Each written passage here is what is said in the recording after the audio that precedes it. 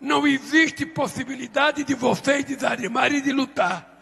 Se vocês tiverem dentro da cabeça de vocês uma causa. E cada um de nós pode construir uma causa pessoalmente, mas nós temos que construir uma causa coletiva.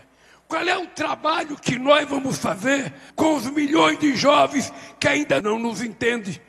Como é que nós vamos tratar esses milhões de jovens?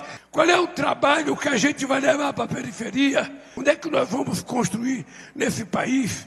uma espécie de projeto Rondon na periferia desse país, para que vocês que são politizados, para que vocês que são bem preparados politicamente, vá para a periferia, dia de semana à noite, de sábado e domingo, criar grupo na periferia para a gente discutir como é que a gente ajuda esse país a nunca mais correr risco de perder a sua democracia. É isso que vai garantir as conquistas dessa sociedade. Nós precisamos compreender que o que vai levar a gente a subir a escada inteira é a capacidade de discussão política que a nossa juventude que está aqui tiver para discutir com a juventude que não está aqui. O que eu quero é dizer para vocês o seguinte, gente: não parem e não se contente de reivindicar do governo.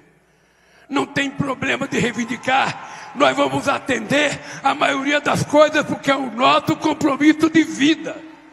O que é importante é que vocês assumam um compromisso com vocês, com o futuro desse país.